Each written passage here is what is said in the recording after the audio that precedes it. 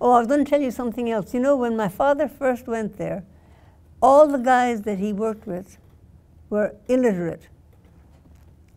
And he thought that to be a Christian, it would be kind of nice if you could read a Bible. Would it not? You didn't have to have somebody read it to you. So my folks got this idea, I, I remembered it when I was reading my sister's book, that they would offer them 10 rupees, which is a lot of money in those days, more than a month's salary, out, out of my mother's and dad's salary, if they would learn to read. And so a lot of them really, really worked hard to learn to read so they could read their Bibles.